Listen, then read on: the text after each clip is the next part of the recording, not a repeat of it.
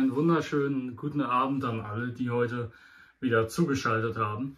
Heute gibt es noch keinen Ausraster, so wie beim letzten Video, äh, wo ich ein bisschen am Ende sehr laut wurde. Heute wird es ein bisschen tiefgründiger und ein bisschen emotionaler, ähm, weil es soll allgemein um die Thematik gehen, die hatte ich auch schon mal in dem Gespräch mit Chris gehabt. Aber ich dachte mir, ich kann dem Ganzen eventuell auch ein bisschen mehr Tiefe und ein bisschen mehr Ausbau geben.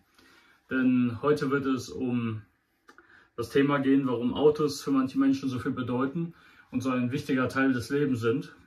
Und auch meine persönliche Geschichte, wieso liebe ich meinen kleinen alten Twingo, welchen ja, viele Leute ihn sehen würden, einfach nur sagen würden, was ist das für eine Ranzkiste. Und halt, halt versuchen sie, ja, du bist ein Mann, aber was fährst du in einen Twingo oder sowas. Es, man muss halt bedenken, es ist, jeder hat seine persönliche Geschichte. Wer, wer zur Auto-Community, zu den Auto-Enthusiasten, wer, wer dazugehört zur Autoszene, der, der fühlt viel mehr mit seinem Stück Blech mit Plastik auf Gummirädern als so manch anderer. Und heute soll es auch ein bisschen darum gehen, wieso. Denn die meisten Leute, ich würde mal sagen, der Großteil für die ist das einfach ein Stück, um von A nach B zu kommen. Und es ist ja nur ein Auto und es bringt mich einfach zum Ziel. Ich kann einkaufen gehen, zur Arbeit fahren. Aber manche, für manche ist das halt wichtiger. Und ich meine, ich habe, wie ich schon im letzten Video erzählt habe, seit meiner Kindheit an Autos geliebt. Der Alfa Romeo 156 war das Auto, mit dem alles angefangen hat wo ich mich als Kind total so verliebt habe, obwohl das eigentlich voll das dubios aussehende Auto ist. Viele würden sogar gar sagen hässlich, aber es hat so einen Sweet Spot bei mir mit Alfa Romeo.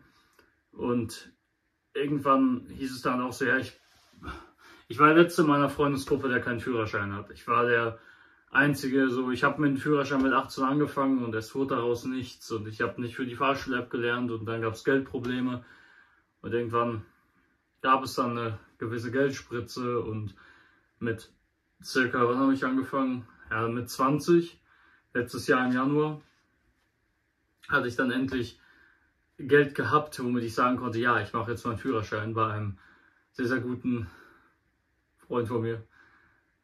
Großartiger Mann, großartige Fahrschule und ja, dann kam es, wie es gekommen ist. Ich habe ja von zwei Monaten durchgezogen, alles ohne anzugeben, alles auf Anhieb bestanden, Praxistheorie, null Fehlerpunkte, reingehämmert ohne Ende. Und das war halt auch noch Geld übrig. Und dann hieß es, ja, ich will jetzt natürlich auch ein Auto haben. Meine Finanzlage ist allgemein nicht die beste. Ich bin in einer Ausbildung, welche überbetrieblich finanziert wird. Also mein Geld ist minimal und ich sag mal so, fast die Hälfte meines monatlichen Geldes aktuell geht für mein Auto raus. Ja, und wenn dann immer so Sachen wie Reparaturen ankommen, naja, es war halt so, ich war auf der Suche, mein Großvater hat mir empfohlen, wie ist es mit einem Renault Twingo?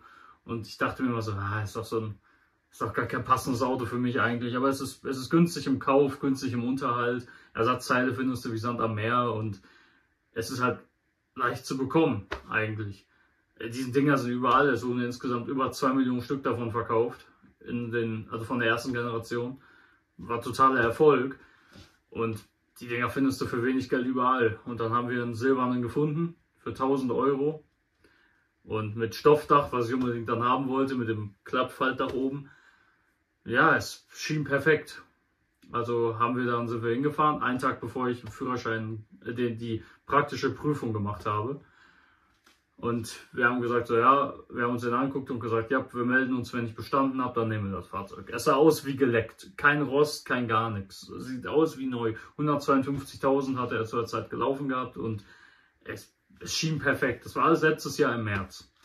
Und dann hatte ich meine Führerscheinprüfung, habe bestanden und dann hieß es, ja, jetzt wird Zeit, jetzt muss gekauft werden.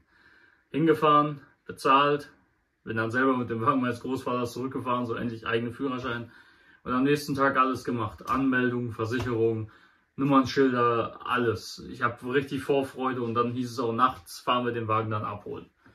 Gesagt, getan. Bin mit einem Kollegen nachts hingefahren, da war schon so 9 Uhr. Und haben ihn ja, ungefähr um 18 Uhr losgefahren haben die Nummernschilder gemacht. Ich war voller Vorfreude, so, oh cool, hier ist er, das ist jetzt mein Auto. Endlich war ich nicht mehr der ohne Führerschein, der immer rumgefahren werden musste. Voller Vorfreude gewesen, voll toll alles und voll schön und voll verliebt. Und ja, dann losgefahren. Nach fünf Minuten kam dann auch direkt die allererste Polizeikontrolle. Ich habe halt mit einem Golf 7 Turbo Diesel gelernt, mit viel Leistung. Der ist angefahren, indem du einfach nur an der Kupplung gezogen hast. Das kannst du beim Twingo nicht machen. Weil da schleifen lässt, wirkt der ab. Da musst du halt mit Gas geben und damit musste ich mich halt erstmal noch dran gewöhnen. Ähm, ging auch relativ schnell, aber es war, es war eine pure Überforderung. Und, oder Folie machen wir so schneller vorbei. Ähm, wir haben erstmal Ewigkeiten gebraucht, um herauszufinden, wie man überhaupt die Scheinwerfer anmacht. Total genial war das. Fahren, direkt. Ich wollte auf der Hauptstraße auffahren, bin fast im zweiten angefahren. Ich war halt voll nervös. Noch so erste Mal alleine in einem Auto. Und erstmal so Wagen voll am Wackeln gewesen, abgewürgt. Und hinter dem Wagen meines Kollegen waren die Bullen. Die Polizei war da. Da wurde ich erstmal, wurde ich erstmal rausgezogen.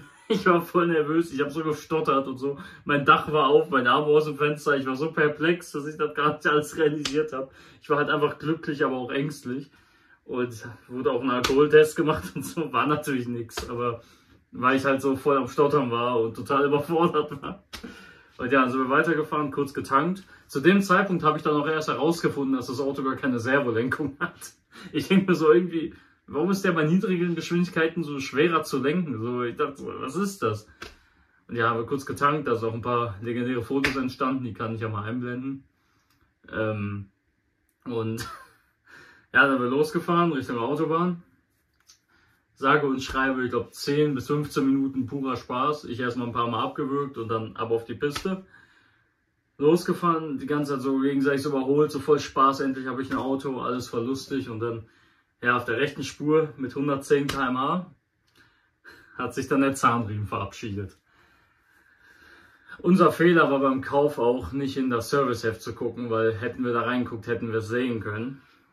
Ähm, gerissen, ich stand an der Autobahn, Autobahnseite, Warnblinker an, wir haben die ganze Zeit, wir wussten ja nicht, was das Problem ist, haben wir versucht mit Anschieben, alles, der Wagen wollte nicht mehr zünden, noch ging nichts mehr. Ist ja klar. Nockenwelle hochgeschlagen, Ventile gegen Kopfdichtung, alles krumm, alles, der Motor war immer Fratze. Und ADAC gerufen, kam dann auch und fragt dann noch so scherzhaft, so, ja, welches Auto ist denn betroffen? Da vorne steht mein alter Twingo und dahinter der Hyundai Tucson von meinem Kollegen. da dachte ich mir auch, ja, ratet mal. Und als ich gesagt habe, meiner war das Einzige, was ich gehört habe, Gott schütze uns vor Sturm und Wind und Autos, die aus Frankreich sind. Danke dafür ähm, hat er Benzinpumpe, wollte, meint so, ja, zünd mal, meint, er bewegt sich nichts mehr. Wurde ich abgeschleppt bis zum nächsten Parkplatz. Ab da haben wir dann den Wagen zu mir gezogen. Ähm, war, eine, war eine Katastrophe, war das. Weil gerade erstes Auto, seit zwei Tagen Führerschein und dann äh, hängst, der Ab, am Abschleppseil. Es war ein Albtraum. Aber ja, dann konnte ich am nächsten Tag mit dem Bus zur Arbeit fahren und an meinem neuen Auto vorbeilaufen. Haben wir ihn in die Werkstatt gebracht, zu einem Freund von meinem Großvater, der er, liebt, er macht das einfach gerne, Autos zu reparieren und so. Er hat eine kleine Werkstatt. Und ja, zwei Wochen hieß es dann, wir können abholen. Es wurde kein neuer Motor eingebaut. Dieser Motor wurde komplett wieder neu aufgebaut. Neue Zylinder, neue Ventile, neue Kopfdichtung, natürlich neuer Zahnriemen, Ölwechsel, weil Öl sah auch schon aus wie Mayonnaise. Der Wagen wurde, der war zwar von außen wie geleckt, aber einmal Öldeckel auf, da war Leberwurst drin. Ich weiß auch nicht, warum wir nicht direkt reingeguckt haben. Auch im Service-App stand drin, der Zahnriemen wurde bei 75.000 gewechselt. Bei Renault musste alle 70.000 gemacht werden und der Wagen hatte 152.000 drauf. War also nur eine Frage der Zeit, bis er gerissen wäre. Ist dann passiert. Alles neu, Wagen lief, ich war der glücklichste Mensch der Welt. Gefahren, gefahren, gefahren, Weitstrecke, Kurzstrecke. Ich bin gefahren ohne Ende. Es ist jetzt etwas mehr als ein Jahr her und ich habe insgesamt schon jetzt Stand jetzt 20.000 Kilometer draufgelegt. 172.000 oder 173.000 hat er gerade. Joa, so viel dazu. Und ich habe in dieser Zeit die schönsten Erinnerungen gesammelt. Es ist viel Positives, viel Negatives passiert, aber das Auto war einfach immer bei mir. So, es war, ich meine, im Oktober ist irgendwann die Kupplung nachgegeben, jetzt ist eine neue Kupplung drin. Selbst davon macht das Ausrücklager Probleme. Der Schleifpunkt der verändert sich manchmal während der Fahrt. Meist das Pedal leichtgängig und der Streifpunkt ist weit unten. Wenn das Ganze kalt ist, ist er weit oben. Es ist schrecklich. Aber er fährt und er lebt. Frischen TÜV hat er bekommen im Februar. Ich kann mich nicht beklagen. Es waren nicht mal viele Mängel. Man würde erwarten, oh, bestimmt viele Mängel. Nein. Der Wagen hatte keinen Rost. Das Einzige, was gemacht werden musste, waren zwei neue Reifen und neue Federung. Fertig. Und der Endtopf musste wieder richtig befestigt werden. Da hat sich eine Klammer von gelöst. Das war's.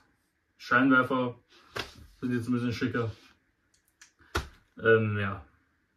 Und er lebt. Und ich liebe ihn über alles. Und ohne diesen kleinen Wagen wird es mir bei weitem nicht so gut gehen. Deswegen, man, man entwickelt eine emotionale Bindung zu seinem Auto.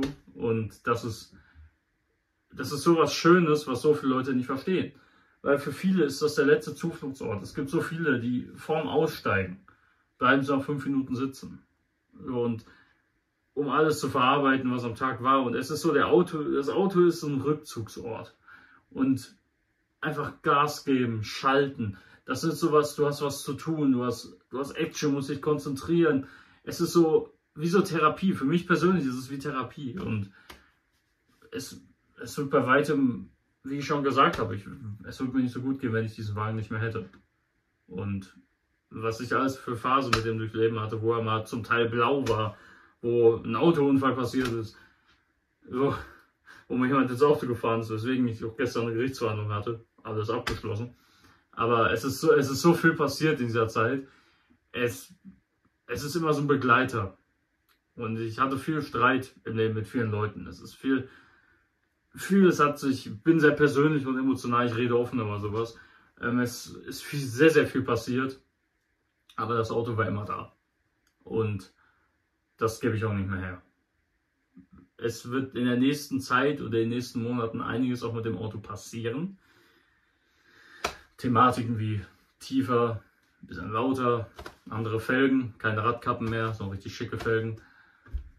Ja, es wird einiges noch passieren und dieser Weg ist noch längst nicht vorbei. Und auch davon werden Videos kommen, das kann ich schon mal ankündigen, wenn der Wagen tiefer und lauter wird. Und äh, das Wagen ein bisschen wie so ein Projekt wird, dann es wird alles dokumentiert werden und da wird noch viel kommen, weil dann werden es auch die Finanzen erlauben. Ja, und ein Auto ist einfach, darauf will ich hinaus, ein Auto ist ein dauerhafter Begleiter. Es ist immer mit einem dabei. Es ist, ich kann das gar nicht in Worte fassen, wie schön es eigentlich ist, sein Auto zu lieben. Und alles in allem ist das ein Hobby für so viele und eine Therapie für so viele. Und die Szene ist groß, die Community ist groß, Größen wie JP Performance ähm, gar nicht mal weit weg von mir. War ich jetzt auch schon öfter und es ist so, du triffst dort Menschen, welche die gleiche Leidenschaft teilen. Das ist, egal ob es bei Musik ist oder bei Autos oder bei, ob du Feueralarm sammelst, es ist, es ist komplett egal. Es ist einfach was Schönes, in einer Community zu sein und ein Hobby zu haben und etwas zu haben, was, ein, was jemand liebt. Und viele würden das vielleicht nicht verstehen mit Autos, aber wenn ihr jemanden kennenlernt, das kann ich auf den Weg geben, und diese Person ist ein Autofanatiker, könnte man sagen, dann es gibt viele, die das komisch finden, die dann sagen, was ist los mit dir? Es ist, viele verstehen es nicht, aber wir verstehen es und es ist, es ist etwas sehr, sehr weit verbreitetes und etwas auch äußerst Normales. Das ist einfach das, was ich erzählen wollte. Danke, falls ich immer diese kleine Geschichte anhören wollte. Es ist jetzt vielleicht nicht das contentreichste Video bis jetzt, aber ich wollte es einfach mal losgeworden haben und einfach mal erzählt haben. Deswegen danke sehr. Wir sehen uns beim nächsten Mal.